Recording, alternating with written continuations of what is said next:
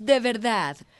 Muy buenas noches, ¿cómo está? Me da mucho gusto saludarles. Soy Trini Rodríguez y esto es C7 Noticias de Verdad. Le invito, como siempre, también a comenzar la semana bien informado con los hechos más importantes ocurridos en las últimas horas aquí en nuestro ámbito local. Le informo, y con eso comenzamos, turistas mexicanos fueron confundidos con terroristas y atacados con bombas en Egipto. 12 de ellos son de Jalisco, por lo que el gobierno del estado ofreció brindar todo el apoyo a las víctimas y a sus familias. Esto más adelante.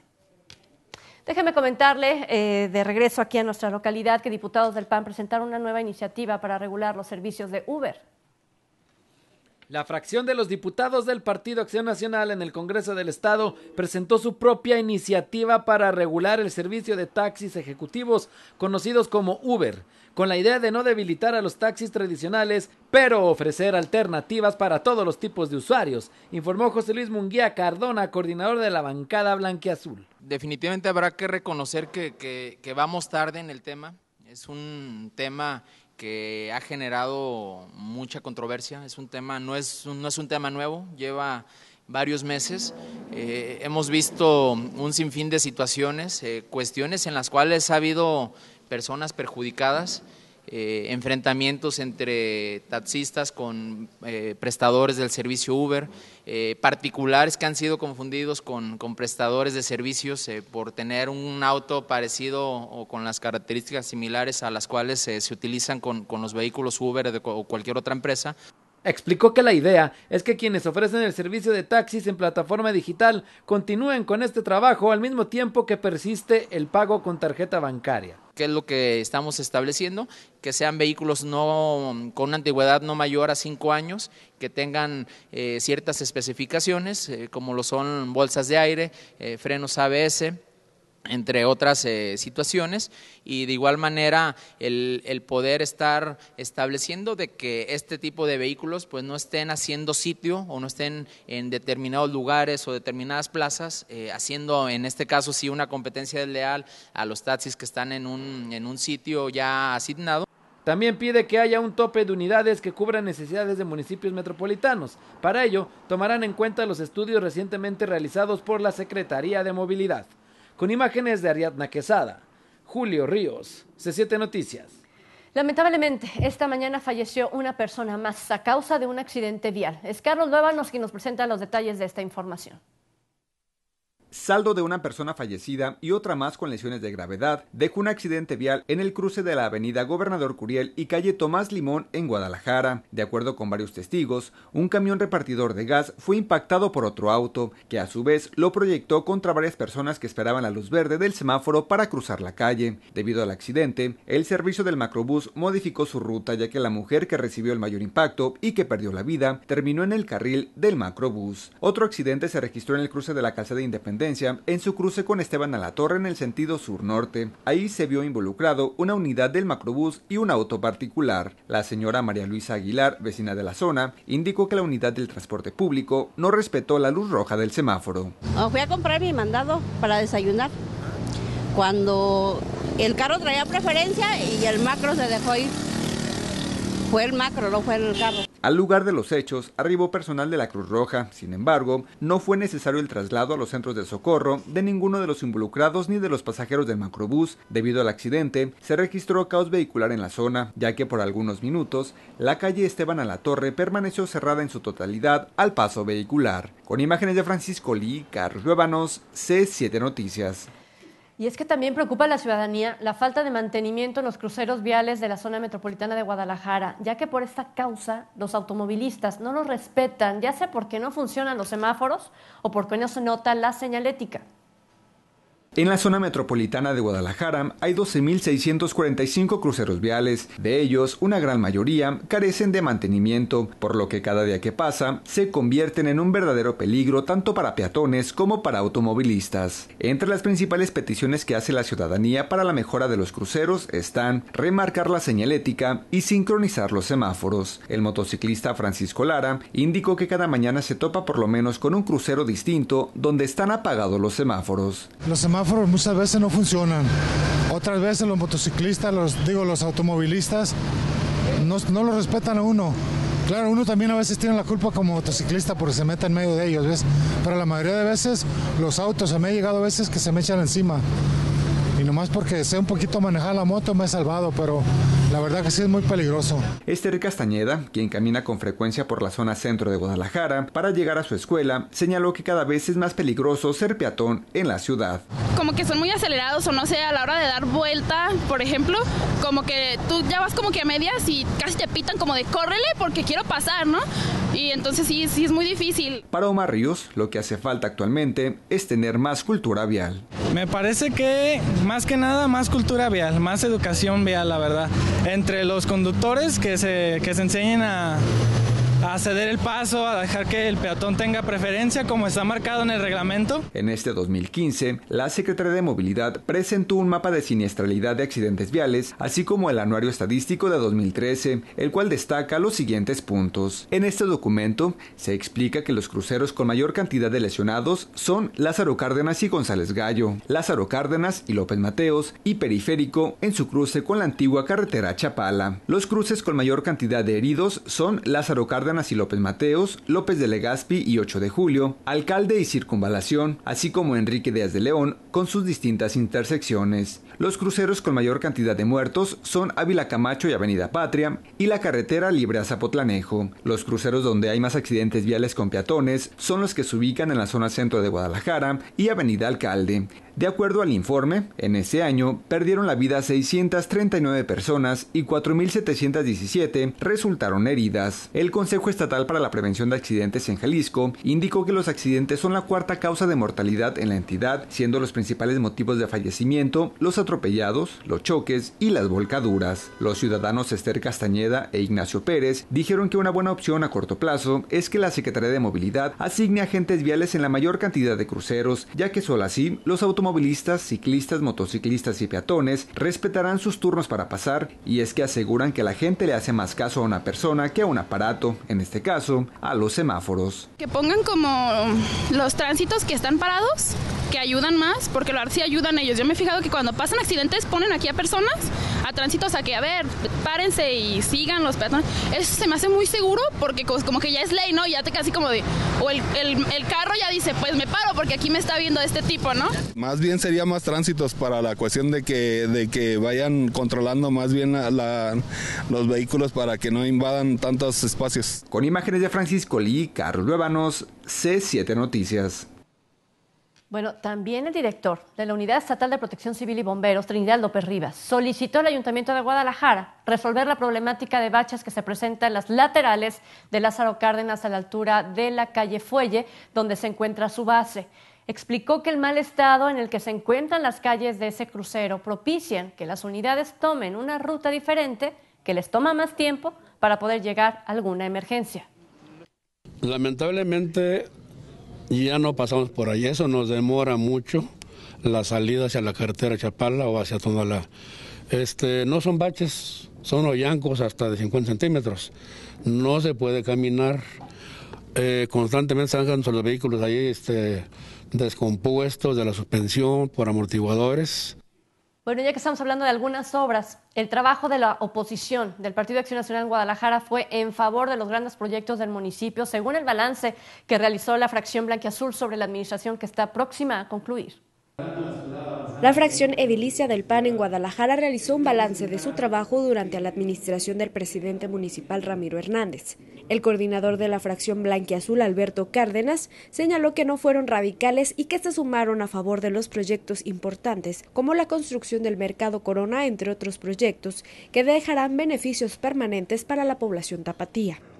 El mercado Corona va a ser una, quizá, de seguro va a ser la obra que va a recordarse más de este ayuntamiento y que fue gracias al PAN a que se salió, se sacó esta obra sin deuda pública, que insistimos desde el inicio que fuera sin deuda pública, con las reservas de que cierre bien, falta la asignación de locales, el acuerdo de mantenimientos, los problemas de agua de subterráneo, entre otros, pero yo creo que es otra cosa que salió relativamente bien el proyecto del alumbrado público, que también fue otro proyecto conocido por todos ustedes y que le está ahorrando al municipio cerca de 550 millones de pesos.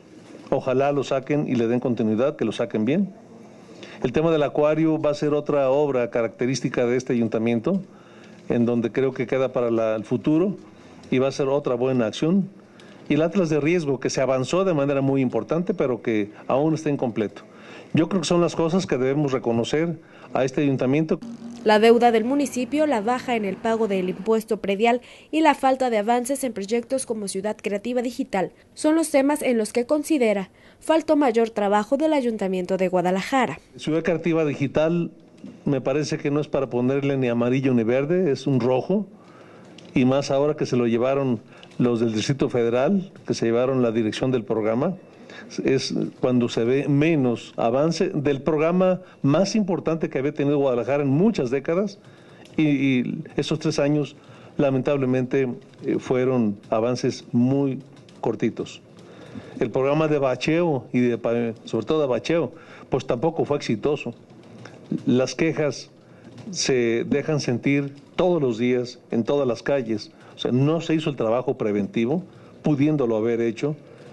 Señaló que el trabajo de oposición panista fue propositivo y activo. Con imágenes de José Luis García, Luiani Salazar, C7 Noticias. Bueno, es tiempo de hacer una pausa, es muy breve. Y le platicaremos al regresar de los 12 de los 15 turistas atacados en Egipto. Son originarios de Jalisco, por lo que el gobierno del estado otorgará todo el apoyo que sea necesario, tanto para trasladarlos a su hogar como para superar estos momentos difíciles.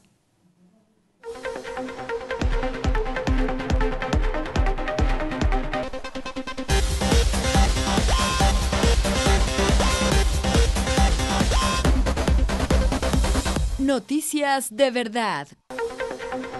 El Sistema Meteorológico Nacional pronostica para mañana martes en la zona metropolitana de Guadalajara tormentas aisladas. La temperatura máxima será de 27 grados y la mínima de 17. En Puerto Vallarta se esperan tormentas dispersas con temperaturas entre los 33 y los 24 grados centígrados. Para Chapala se prevén tormentas por la tarde. La temperatura oscilará entre los 28 y los 17 grados. Bueno, gracias, gracias por continuar con nosotros. Déjeme platicarle que Protección Civil y Bomberos busca que todos, todos los jaliscienses estén preparados en caso de un terremoto como el que se registró en 1985.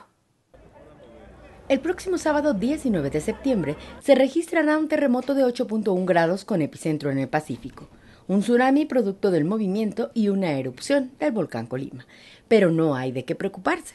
Estos escenarios hipotéticos forman parte del macro simulacro que tiene contemplado realizar la Unidad Estatal de Protección Civil y Bomberos como parte de la Semana Estatal de Protección Civil, informó el titular de la dependencia, Trinidad López Rivas. Vamos a evacuar algunas playas de costa norte, como es Puerto Vallarta, y algunas de costa sur también. Eh, con esa finalidad, haremos pues la evacuación de las playas, el alarma será a las once y media en todo el país, por supuesto. Y como resultado del sismo, se van a registrar algunos movimientos en el volcán, por lo que también vamos a evacuar algunas comunidades cercanas al volcán, las que comúnmente se evacúan por ser las más vulnerables. El jefe de Protección Civil Jalisco detalló que el 17 de septiembre se hará el simulacro en las escuelas y planteles educativos del Estado, así como en las empresas y fábricas de la entidad, mientras que el 18 de septiembre se hará lo mismo pero en las dependencias federales, estatales y municipales. Esperamos pues que nos responda la ciudad jalisciense. El señor gobernador está muy preocupado y con la intención de que participen todos los galicienses. Él va a estar participando también en el simulacro y ojalá pues que ustedes nos apoyen también para que lo hagan pero también háganlo en sus empresas. Para fortalecer las acciones que desempeñan los distintos cuerpos de protección civil, esta semana se organizaron capacitaciones para unidades de protección civil municipales y empresarial, desde actualización en rutas de evacuación e identificación de riesgos hasta cursos de primeros auxilios y resucitación. Con imágenes de Sergio López e información de Eduardo Chávez, C7 Noticias. Y para evitar alguna emergencia por uso de productos con pólvora, el director de la Unidad Estatal de Protección Civil y Bomberos, Trinidad López Rivas, llamó a evitar hacer uso de estos artículos peligrosos y dejar que los expertos los manipulen. Señaló que durante la celebración del grito de independencia, en cada localidad donde se reporta que habrá uso de juegos pirotécnicos, se envía personal especializado para asistir en el encendido de estos juegos los que se vayan a usar, bueno, será, será el mismo gobierno del municipio bajo un control absoluto, de manera coordinada y vigilada con los responsables de la venta y distribución de esos materiales. Es importante pues que no se usen en las casas, en negocios, en comercios. Bueno, ¿y sabe usted que más de 300 comerciantes ambulantes instalarán sus puestos de verbena popular en el centro de Guadalajara durante la celebración del grito de independencia? Ya está todo listo para los festejos patrios a realizarse en el primer cuadro de Guadalajara, informó el secretario particular del Ayuntamiento Tapatío, Jesús Lomeli Rosas. Indicó que en esta ocasión habrá más de 300 comerciantes ambulantes, es decir, menos que el año pasado. El día 15 y 16 debe de haber un número de 300 13 eh, eh, eh, comerciantes que pueden salir. Ya se platicó con las autoridades correspondientes y se va a tener un ordenamiento apropiado con el propósito de no entorpecer las obras que están este, realizándose de la línea 3 del tren ligero. Indicó que aprovecharán que la avenida 16 de septiembre está cerrada al paso vehicular para instalar también ahí los puestos de comida como los de antojitos mexicanos. Son la plaza de Guadalajara, la plaza de la Liberación y quizás ahora tengamos que utilizar un poco lo que es Avenida Alcalde, donde está cerrada la circulación vial, pero donde sí habrá la manera de ordenar y de acomodar en forma este, apropiada a los comerciantes. Los comerciantes deberán retirar sus puestos la tarde del 16 de septiembre. Carlos Luevanos, C7 Noticias. Y precisamente con motivo de las actividades cívicas por los festejos del 205 aniversario del Grito de Independencia, la Secretaría de Movilidad informó que se realizarán cierres viales en el centro de Guadalajara y la avenida Chapultepec, donde tendrá lugar el desfile del 16 de septiembre. En el primer cuadro de la zona centro de Guadalajara, de la calle Juan Manuel a López Cotilla y de la calzada Independencia a Santa Mónica, se cerrará la circulación vial desde las 22 horas de hoy lunes y se reabrirá hasta las 14 horas del miércoles 16 de septiembre. Para el desfile del 16 de septiembre, el próximo miércoles, habrá cierres viales de las 11 eh, en la zona que comprende de Avenida Chapultepec Sur, desde su cruce con la Avenida Niños Héroes y hasta Avenida México para que usted pueda asistir. Y mientras tanto, las Fuerzas Armadas afinan detalles para el desfile del 16 de septiembre. Camarada de las filas, camarada de las filas, tú qué marchas junto a mí, tú qué marchas junto a mí. Viva no necesitas. Hermano, soy para ti. La quinta región militar aceleró la preparación de su personal para su participación en el 205 aniversario del inicio del movimiento de independencia de México. Durante un mes por seis horas diarias, el contingente del personal de la quinceava zona militar se preparó en las instalaciones del Colegio del Aire para la parada militar del 16 de septiembre. La presencia femenina es cada vez más notoria en las Fuerzas Armadas. Un 10% del millar de elementos que conforman el contingente son mujeres, como la cabo Almadelia García Torres, quien expresa sus sentimientos por participar en el desfile en el agrupamiento de banderas. Un gran orgullo estar dentro de las Fuerzas Armadas, dentro del ejército. Es una satisfacción muy grande como mujer, como persona, como mamá, como hermana, como hija. ¿Qué te dice tu familia al verte participar en ese tipo de eventos? Está muy orgullosa, este, se sienten muy contentos de verme, de estar viendo por la tele, en persona, de la gran lucha que tenemos este, cada día por seguir esforzándonos en ser mejores soldados y servir a nuestro país. El comandante de la columna, general Víctor Manuel González Pérez, habló sobre el número de elementos que protagonizará el desfile y al cual exhibirá parte del equipo que se despliega cuando se activa el plan de auxilio a la población civil en casos de desastre. Tres jefes, 51 oficiales, 600 elementos de tropa, 5 cadetes, 113 discentes de la Escuela Militar de Clases de Transmisiones, 78 vehículos, 5 binomios de caninos y 4 avionetas Cessna. En Guadalajara, el desfile se realizará a las 10 horas por Avenida Chapultepec y en Zapopan dos horas después sobre Avenida Hidalgo. Las imágenes son de Israel Carvajal, Luis Alberto Fuentes, C7 Noticias. Bueno, y hoy por las calles de la ciudad más de 100 asociaciones celebraron el Día del Charro en Jalisco con un tradicional desfile. Carlos Dueva nos los acompañó durante su recorrido y aquí está la historia. Como cada año, la Asociación de Charros de Jalisco celebró su día con un tradicional desfile. En él participaron 119 asociaciones de todo el país. En esta ocasión, el desfile en su edición 95 cambió su recorrido habitual debido a las obras de construcción de la línea 3 del tren ligero. Ahora, los charros desfilaron por Avenida Chapultepec, Washington, Calza de Independencia, hasta llegar al lienzo charro de Jalisco, ubicado en R. Michel. Desde muy temprana hora, cientos de personas como Alfonso Guzmán, Juana González, Aniceto Olivares y María del Carmen llegaron a la zona de Chapultepec para ver a las escaramuzas, los charros, los caballos y las calandrias. La charreada. ¿Y por qué te gusta la charreada? Ver los toros, los caballos. Hace un año que venimos, nos encantó estar aquí y pues por eso volvimos. Inculcar entonces la tradición. La tradición, sí, nos encanta todo lo que sea la tradición mexicana, nos encanta. Pues es una cosa muy bonita. Admiro a la mujer como a la mujer de eso. Muy bonito, o sea que allá en Monterrey pues no, sí hay, pero no a este nivel. Me pareció estupendo, muy bonito. Yo tengo 16 años viviendo en, en México, pero aquí viví 28 años en Guadalajara. Y este, no, pues me levanté tempranito, mi idea era venir tempranito aquí, oí por el radio que iba a ser el desfile ahora este día. El presidente de la asociación, Salvador Sánchez Sánchez, indicó que este deporte nacional cada vez es más del agrado de la ciudadanía. Que la charrería ha crecido en cantidad y en calidad. Si en 1920 nomás era una asociación, ahora aquí en el estado de Jalisco federadas son 119 asociaciones aquí nomás en el Estado de Jalisco. Entonces ha crecido en cantidad y en calidad.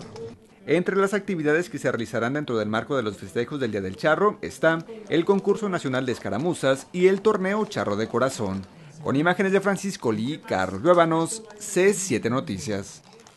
Tiempo de hacer una pequeña pausa. Al regresar, 15 turistas mexicanos fueron atacados en Egipto por soldados del ejército que supuestamente los confundieron con terroristas. 12 de ellos son originarios de Jalisco.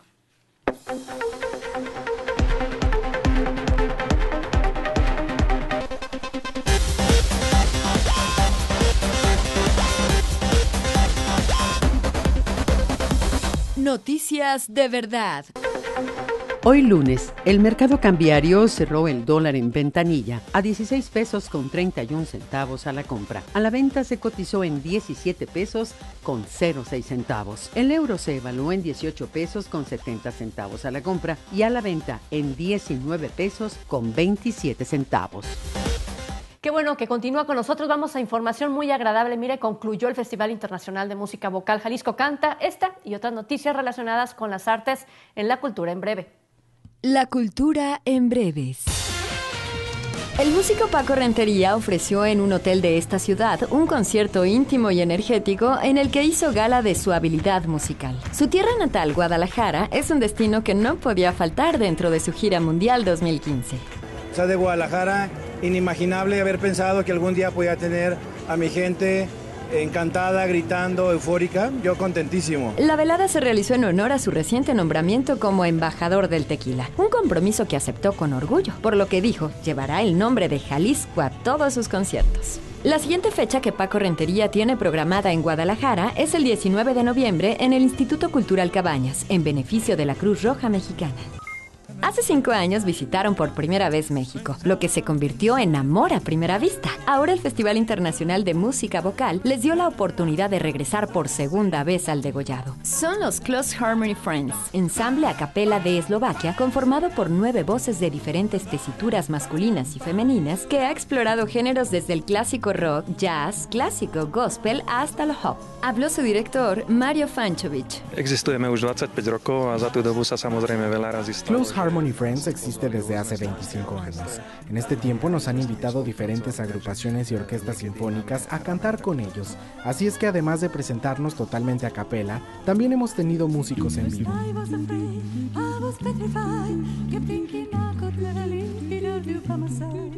El ensamble prepara una gira por su país al lado de la agrupación canadiense Kittens, además de que ya hablaron de regresar a Guadalajara en 2016. Considerados pioneros de la música vocal contemporánea y excepcionales en imitar instrumentos populares para crear canciones, Vocal Sampling se presentó en el Teatro de Gollado, en la conclusión del Festival Internacional de Música Vocal Jalisco Canta. El grupo cubano, conformado por seis varones, obtuvo tres nominaciones para los premios Grammy y se han presentado en los escenarios más importantes del mundo. De ahí que los tapatíos tuvieron la oportunidad de deleitar sus oídos con las románticas interpretaciones de Vocal Sampling. Esto fue algo de lo que se vivió. Una guayaba que me gustara y detuviera mi caminar. Y aunque encontré una casa dorada, esa guayaba no pude hallar.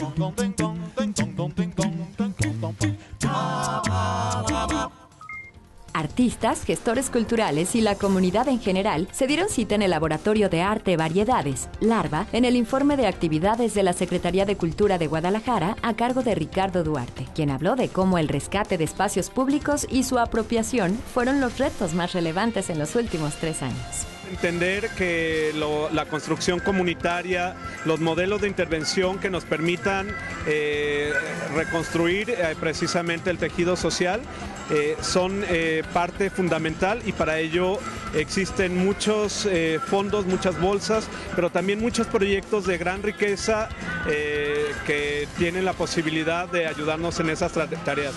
De las propuestas que los líderes culturales presentaron durante el encuentro Cultura GDL ante la Secretaría, se consolidaron las galerías públicas como la de Chapultepec y la del Globo Museo del Niño. Se impulsó la formación musical y artística en cinco nuevos espacios ubicados en colonias vulnerables como La Ferro y Santa Cecilia, además de descentralizar la cultura y generar un sistema autosustentable. Los nuevos caminos entre la cultura, el arte y la comunidad aún tienen muchos retos por cumplir. Hay que seguir apostando al ejercicio de procuración de fondos. Eh, hay todavía algunos espacios que requieren inversión. La inversión se fue dando en función de la procuración, pero también del estado de emergencia de los distintos espacios. La Orquesta Filarmónica de Jalisco que dirige Marco Parisotto tuvo una serie de presentaciones en el Festival Internacional de Música Busan Magu en Corea del Sur como parte de las celebraciones por los 100 años de tradición orquestal en Jalisco. Tras su gira por Corea, la orquesta iniciará su tercera temporada 2015. El director titular de la Filarmónica de Jalisco, Marco Parisotto, dijo: Son dos, dos eh, óperas tan importantes en el repertorio y eh, las voy a dirigir yo las dos eh, este año con unos cantantes absolutamente estupendos, cantantes internacionales, nacionales y también locales. Tenemos, tenemos de todo. Eh, pero la, la, temporada sinfónica en sí y también es, es increíble, es, es, muy interesante. Empezamos esta propia semana. El primer concierto estará dirigido por el maestro Dorian Wilson, quien comentó.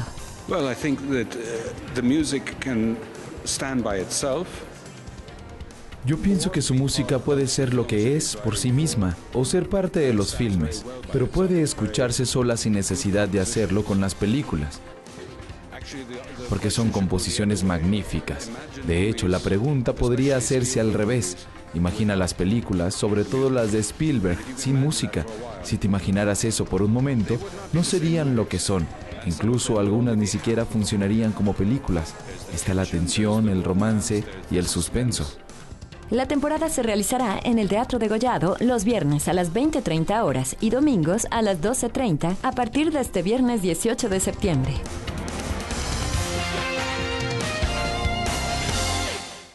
Mira, presenta el gobernador de Jalisco nueva forma de tomar las decisiones en cada dependencia.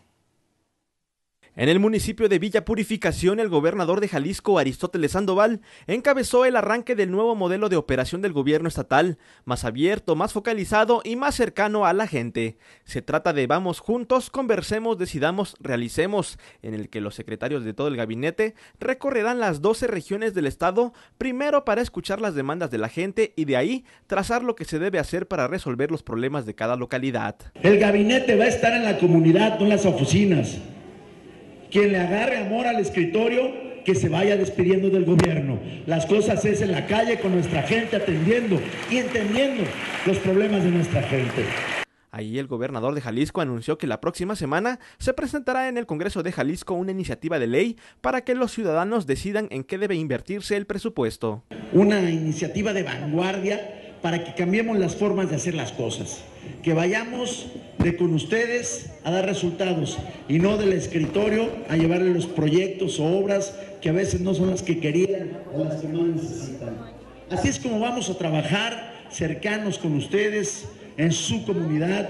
En Villa Purificación, el mandatario estatal se comprometió a que en menos de 60 días regresará la policía municipal a custodiar la seguridad de la zona y no la fuerza única. Y se establecieron otros compromisos como ampliar el centro de salud, mejorar las carreteras, jornadas de limpieza e impulso a la educación, tecnología y cultura de la comunidad. Aspiramos a que cuando se hable de Villa Purificación y de esta región, se hable de su gente productiva, trabajadora, y que sea un centro a donde quiera venir la gente a visitar y que conozcan de su trabajo, que conozcan de lo bueno que se come, de la productividad y del desarrollo que tenemos. Eduardo Aristeo Chávez, C7 Noticias. Y parece que sí habrá crecimiento económico para finalizar el año, al menos eso es lo que esperan empresarios de Jalisco. La expectativa de crecimiento económico de Jalisco para el cierre de 2015 es buena, pese al entorno internacional que priva en los negocios, afirmó el líder de la Coparmex, José Medina Mora y Casa. Claro que los empresarios nos damos cuenta de que el entorno económico mundial es incierto, pero aún dentro de esa incertidumbre hay un optimismo de que vamos a invertir. Y también es importante destacar que del entorno nacional y el entorno de Jalisco hay un mayor optimismo de los empresarios en Jalisco para invertir de lo que existe en el entorno a nivel nacional. El empresario estuvo en la presentación del estudio de expectativas económicas del sector privado realizado por el Colegio de Negocios del TEC Campus Guadalajara, en el que se revela que al menos el 50% de los negocios inscritos en la Coparmex incrementará su personal en los últimos meses del año. El gobernador de Jalisco, Aristóteles Sandoval, al escuchar los resultados del estudio, confirmó que el Estado crece, pese al entorno mundial y el alza del dólar. La actividad económica estatal creció en los primeros tres meses 5.5% en comparación con el mismo periodo del año 2014. El estudio que se presenta dice que más de la mitad de las 293 empresas afiliadas a Coparmex consultadas aquí en el estado esperan tener mayor producción, es decir, esperan vender también más. Señaló que en lo que va de su administración se crearon al momento 155.593 empleos formales. Cifra que triplica a lo alcanzado en el mismo periodo de la administración anterior. De la misma manera, no solamente en empleo, en inversión extranjera directa, al revisar también el estudio, vemos que el 74% de las empresas encuestadas planea realizar contrataciones de personal y el 51% subcontrataciones para el cierre del segundo semestre. Con imágenes de Sergio López e información de Eduardo Chávez, C7 Noticias. Un bar en Guadalajara usa publicidad sexista para promocionar cirugías estéticas entre su clientela, por lo que el Ayuntamiento de Guadalajara emitirá un extrañamiento. Vean qué consiste. El Instituto Municipal de las Mujeres de Guadalajara reprobó la publicidad sexista de un bar ubicado en Avenida Federalismo Norte, ya que este supuestamente promociona en forma irrespetuosa para las mujeres cirugías estéticas de busto, glúteos y liposucción. El promocional dice textualmente, el patrón te enchula la máquina. Al respecto, la presidenta del Instituto Municipal de las Mujeres, Rosa María Castillero, señaló que ya tiene conocimiento del tema el Instituto Jalisciense de las Mujeres y dijo que se sumaran al pronunciamiento que haga el organismo estatal. De hecho, yo ya estoy en comunicación con la directora, la presidenta del Instituto Jalisciense de las Mujeres. Ella está por sacar una, un comunicado y un posicionamiento del instituto. Nosotros nos, nos vamos a, a adherir a ese posicionamiento y vamos a trabajar. Además, señaló que sostendrá una reunión con el secretario general del ayuntamiento para tomar cartas en el asunto. Realmente ese tipo de publicidad es totalmente reprobable y hay que señalar. Y yo estoy por eh, tener una reunión con el secretario general del ayuntamiento para pues que ellos hagan ahí también ese, ese manden un oficio de pues de extrañamiento de ese tipo de, de publicidades, ¿no? En este sentido, ya existen antecedentes de extrañamientos y sanciones de publicidad sexista, uno de ellos a una estación de radio por mensajes en contra de la integridad femenina. Con imágenes de José Luis García, Luyani Salazar, C7 Noticias. Bueno, vámonos a una pausa y al regresar, turistas mexicanos fueron atacados tras ser confundidos con terroristas. Dos de ellos murieron.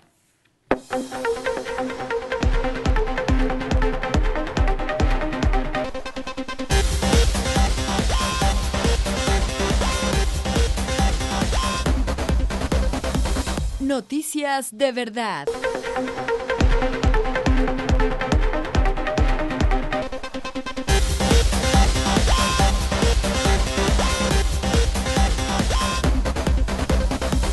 Noticias de verdad.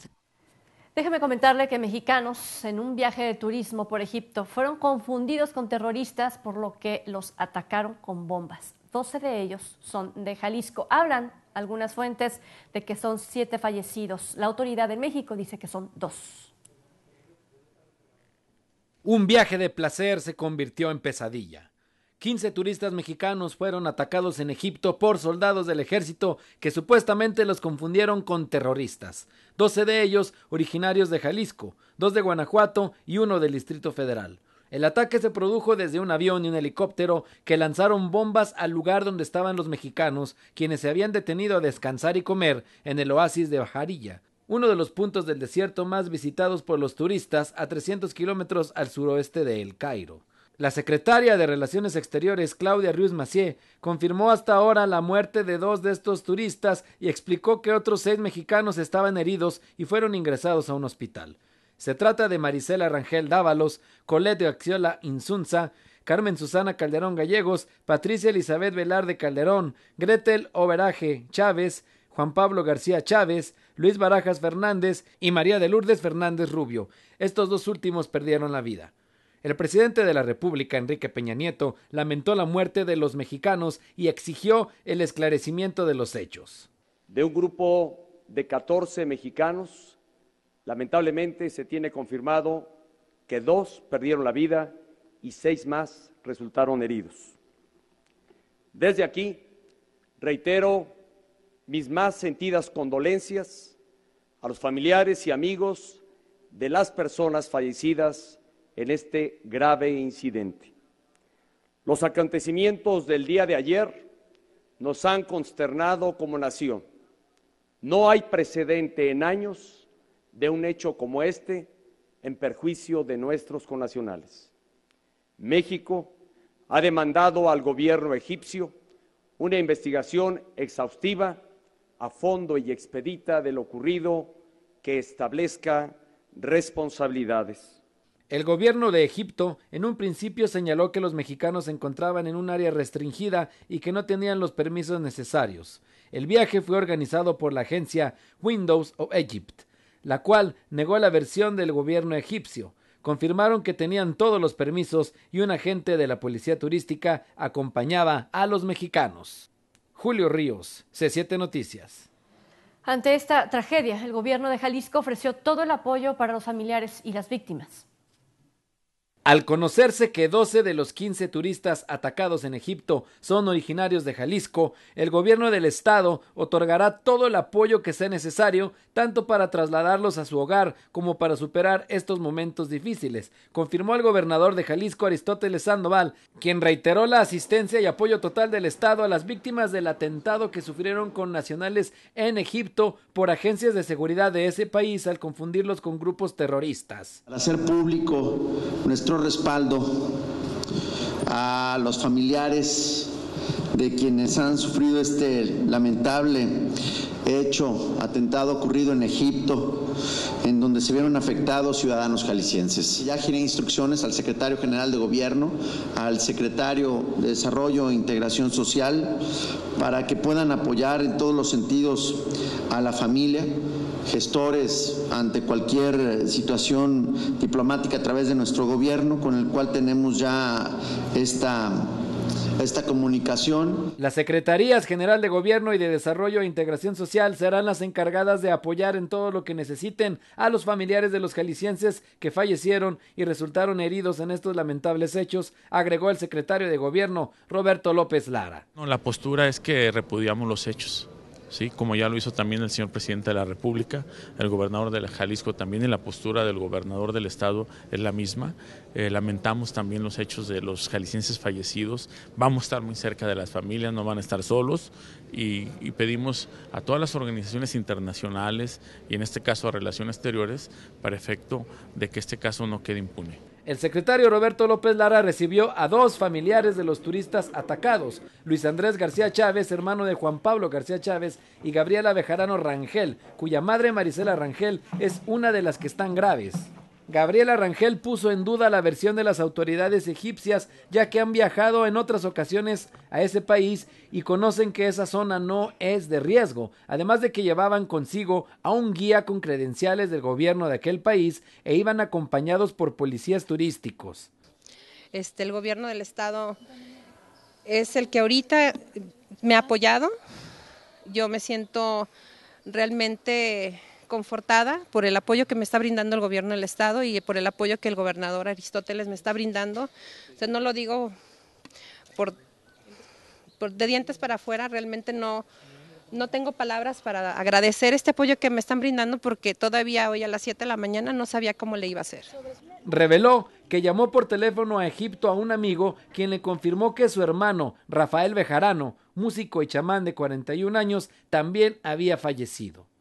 El secretario de Desarrollo e Integración Social, Miguel Castro Reynoso, explicó que el gobernador le giró instrucciones precisas de que esta dependencia sea la que otorgue directamente los apoyos. Eh, tener la información eh, a la mano de cuántas personas habían salido de viaje en conjunto con la mamá de la señora Gabriela y segundo que pudiéramos estar permanentemente en contacto y atendiéndolos a ellos para que cualquier situación que esté en nuestras manos eh, pues pueda ser de utilidad y de apoyo y de solidaridad para estos familiares. Dijo que el Ejecutivo ya estableció comunicación con la Secretaría de Relaciones Exteriores para valorar la posibilidad de que los familiares puedan viajar hasta Egipto para reencontrarse con sus seres queridos en estos momentos complicados. Julio Ríos, C7 Noticias. Bueno, y vámonos precisamente a enlazar con Eduardo Chávez, quien se encuentra en Palacio de Gobierno, en donde hace unos momentos se dio más información relacionada con este tema. Eduardo, ya estamos contigo. Efectivamente, Trini, buena, buena noche, buenas noches al auditorio. El gobernador de Jalisco, Aristóteles Sandoval, tuvo una segunda reunión con familiares de los jaliscienses que iban en el convoy que sabemos las autoridades egipcias bombardearon. En específico fueron nueve los eh, familiares de nueve de los jaliscienses que asistieron y al término de esta reunión el mandatario estatal giró instrucciones para que los familiares que tuvieran sus papeles listos salieran esta misma noche, ya incluso han de estar viajando a la Ciudad de México, eh, para que salgan en el vuelo de la Cancillería que, de México que va hacia Egipto y conocer en qué situación o estado se sus parientes. Trini, para finalizar, el gobernador de Jalisco no precisó nombres de los jaliscienses ni de los fallecidos hasta no tener confirmada de primera mano esta información. Sin embargo, aseveró que en ese viaje sí iban 15 personas, 12 de ellas eran jaliscienses, una más de Guanajuato, otra de la capital del país y una persona extranjera, no se dice la nacionalidad, es extranjera, pero que era conocida de los jaliscienses, Trini. Esto es el reporte. Así es, medianoche estarán ya volando de la Ciudad de México hasta el Cairo, así que bueno, pues estaremos eh, pendientes eh, sobre todo de lo que se resuelva. Dicen que son eh, siete personas fallecidas, según las autoridades o según los, las fuentes allá en Egipto. Entonces hay mucho que aclarar todavía. Efectivamente, es lo último que se ha mencionado, Trini. Sin embargo, hasta el mismo gobernador de Jalisco quiere ser, pues, quiere mantenerse al margen y hasta que no tenga la información confirmada, pues ya ahora sí salir a hablar al respecto. Muy bien, Eduardo, muchísimas gracias por esta información. Hasta luego. Y nosotros hasta aquí, hasta aquí con todos los detalles. Muchísimas gracias por el favor de su atención. Soy Trini Rodríguez y la espero el día de mañana en la transmisión que tendremos especialmente para usted del Grito de Independencia desde Palacio de Gobierno. Síganos desde su casa si usted planea no salir. Que tenga una excelente noche. Nos vemos mañana.